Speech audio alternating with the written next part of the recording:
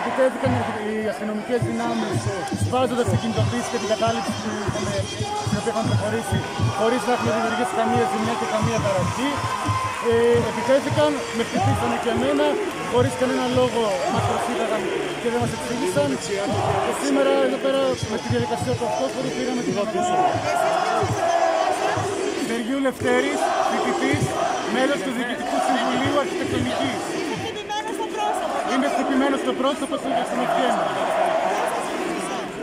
Οι αστυνομικοί έπεσαν πάνω μου χθες ανέτεια, χωρίς να υπάρχει κανένας απολύτως λόγος. Τώρα που ήσασταν μέσα στην Βρετανία, πώς. Δε, προσωπικά δεν ήμουν μέσα στην Βρυτανία, ήμουν στον κόντο που ήταν συγκεντρωμένος από έξι. Τι κάνουν λίγο πίσω ρε παιδιά να βλέπουν το παιδί. Τι ακριβώς έγινε, γιατί δεν τώρα οι περισσότεροι. Όμως τι ακριβώς έγινε και σε Τέσσερις εντάξει. Σύλλογοι του ΑΠΙΣ Λίγο αριστερά με το κινητό σου. Προχωρήσαμε στην κοινοποίηση και κατάληψη της Βρυτανίας. Ε, Έπειτα ο Πρίτανης του ΑΠΙΣ θα ζήτησε εισαγγελική παρέμβαση. Οι αστυνομικές δυνάμεις μαζεύτηκαν έξω από το χώρο του ΑΠΙΣ στην Δημοκρατία και ανέτεια μπήκανε μέσα, Τελειώσε, σπάσανε τελειώσε, την ναι. κατάληψη και επιτέθηκαν στους φοιτητές που βρισκόμασταν Τάσο, στη συγκεκριμένη έλα από εδώ, έλα από εδώ. έξω. Πώς προκλήθηκε αυτό. Τέλειο, εντάξει.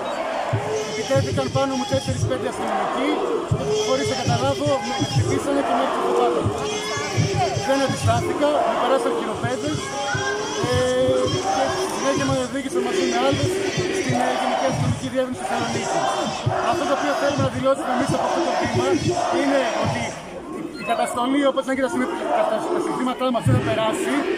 Θεωρούμε ότι ο αγώνας μας είναι δίκαιος, ο αγώνας μας για να επαναληφθούν τις σχολές μας, Χωρί χωρίς να έχουμε αστυνομία μέσα, αλλά να έχουμε αυτά τα οποία χρειαζόμαστε, προκειμένου να μπορούμε να σπουδάσουμε με αξιοπρέπεια και αυτόν ακριβώ το λόγο θα συνεχίσουμε.